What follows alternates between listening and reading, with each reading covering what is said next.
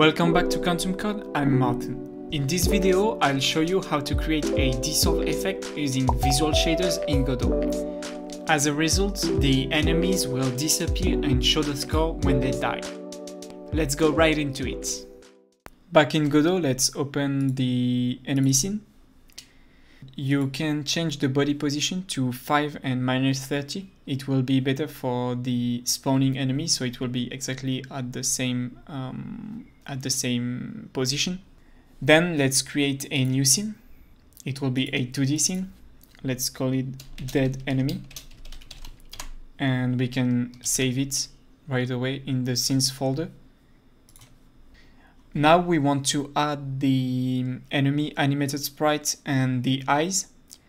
A way to do it is to right click our main node to select merge from scene. Then select the enemy scene and select the body node. Hit OK. And here you have the animated sprite with the eyes sprite on it. It's a way to duplicate your node to other scenes. We will also need a label node to show the score of the player and a tween node to animate the shader effect. And last an animation player node which we will use to animate the, the text the label node um, over the head of the enemy. First, let's set up this label node. So click on it, click on custom fonts, select new dynamic font, click on it. Under the font section, we need to change the font data. Select uh, in your uh, file system, select assets, font, and drag and drop crush.ttf to font data we can type something like 1, 2, 3 to test our text. Back to our custom font, we can change the settings. Let's put a size of 25. An outline size of 1. Uh, we can change the outline color to a almost full red. Uh, we also need to go under extra spacing and change the character spacing to 3 so our character are a little bit more visible. Then you can change the font color and the custom colors. Select the font color and enable it. We'll leave it to a black color. Then we can close the custom fonts parameters. And on top of the label node, we need to change the align uh, values to center. So for align and vertical align. Then let's move the text here. We can expand its size and place it at the middle. Now if we change our value to 1, it will be in the middle and if we continue to add numbers, it will be still centered. So this is good. This is all for the label node. Then we need to animate this node. So let's go in animation player, create a new animation. We'll call it score. By the way, I will change the animation player name to text animation. Let's select the label node. Go under rect on control and just add a track for the position. The text will start at this position and it will go up to something like that. So you can then add a key. Then we will change the visibility of the text. So go under visibility and add a new track for the modulate at the beginning, it will be transparent. So just select a value and put it to zero. Then at 0.2, it will be fully visible. So we can insert a key and this time it will be full white. And at the end of the animation, we want it to be transparent again. we can play our animation to see the result. And this is looking good. Next step is to create our dissolve shader. Next step is to create our dissolve shader effect. I've already uploaded a video on how to create um, this dissolve effect on a sprite, so I will uh, leave you a link to this video in the um, in the description. I recommend you to check it out if you want to understand how um, it is working. I will recreate this effect um, right now, so you can still watch the video. I will not explain um, how I do it, but you can still follow what I am doing and and do the same.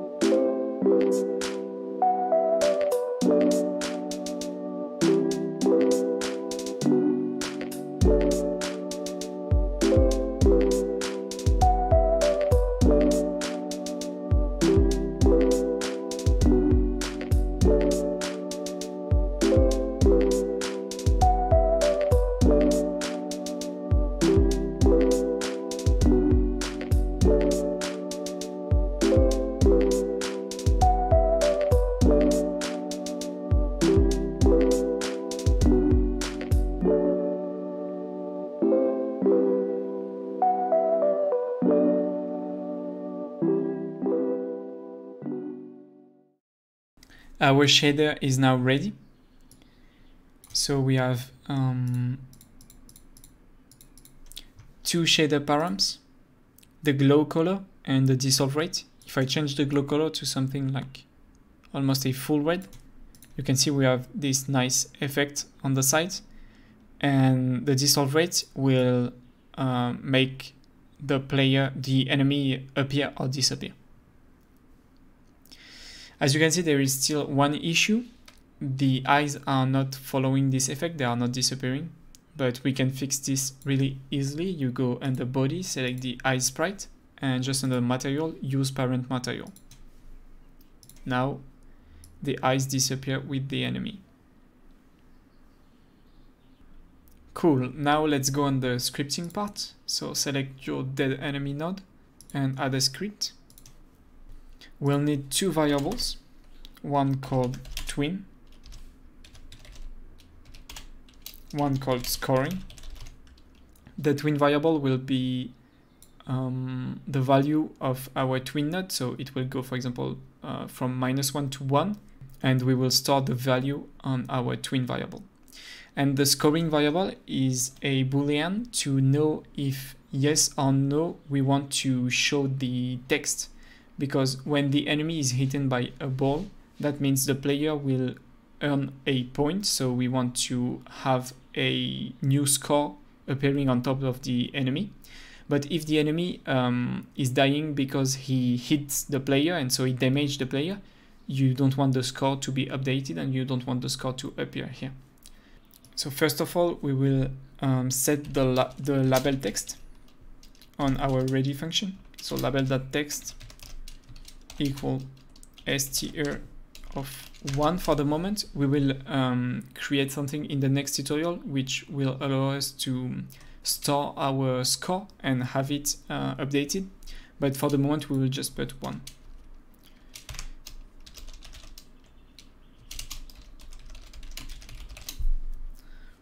Then we will use our tween node to change the value of our um, dissolve effect. So we'll do a tween.interpolate property. Self.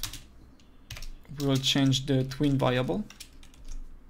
It will go from minus 1 to 1. Um, it will have a duration of 0.35 and we will use a linear transformation and you can select is in it will not change anything with the linear transformation. Then we can call tween that start to start our effects right away. One last thing we need to change the um, shader param under the process function. So at each frame we want our body material and we want to set its shader param. The name of the shader param is uh, dissolve rate and we want it to be equal to tween value. Now at the beginning of our dead enemy thing, when the dead enemy thing is added, we want um, to show the score or not as I explained depending on the scoring variable. So we will create a start function, which will use the variable scoring. And we'll do a self.scoring equal scoring. So this uh, takes this value, which is here, and give it to our variable. Self.scoring is this variable. Then we can test if scoring we want to um, play the animation so we will call text animation dot play. And the animation name is call. Hit control s and then we'll go under our enemy script. And we need to instantiate the dead enemy scene uh, when the enemy dies. Let's add a constant. We'll call it dead enemy and it will be equal to preload. And here we will preload our um, dead enemy scene. The function kill enemy is when the enemy dies. So here we will add a new variable called dead enemy equal to our const dead enemy dot instance. Then we will add it to our tree so get parent. That add child. And we'll add the child dead enemy. Then we'll set its position. So dead enemy that global position equal to global position as it will have exactly the same position as the dying enemy. And remember we need to call the start function with our parameter scoring. So now we can use a, we can change a little bit the kill enemy function. It will take a variable named scoring. So now on body entered, uh, still on the enemy script on body entered if player in body name that means the um, the enemy damaged the player so we don't want to show the text so we just pass false. We also need to set this up in the ball script um, under on body entered. If enemy in body name that means the enemy needs to die because he has been hit by a ball. We will call body that kill enemy and we'll pass true as parameter as the player killed killed this enemy and so we want to see the score. Hit control s. Now we can play the game.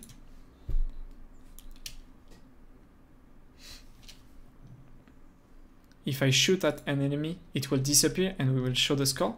But if I continue to shoot as you can see the old enemies are still appearing. So there is an issue. To change this, you can select the body node. And under the material, under resource, you want to enable lo local to scene. So this will create independent shaders for each enemy node. But there is still an issue because we don't um, we don't free the dead enemy nodes even we don't when we don't use them anymore because all the animations are uh, finished um, to solve this, we can use signals. So let's go in the tween node and connect the tween completed to our dead enemy uh, node. Next, we can connect the text animation. Uh, animation finished, you connect it same to the dead enemy node. Now, if the tween ended up, we want still to check that we are not scoring so that means we are not showing the text. And in this case, we can queue_free. But if we are also showing the text, we don't want to queue_free when the text animation didn't uh, end. In this case, we want to queue_free only when the text animation finished. Here we can just do a test to check the anim name. So if anim name equal score, which is the name of our animation, we will queue_free. We can play the game again.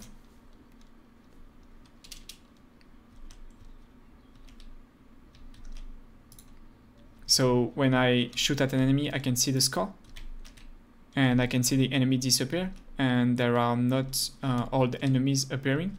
And also if an enemy comes and hit the player, he will disappear but not show the score.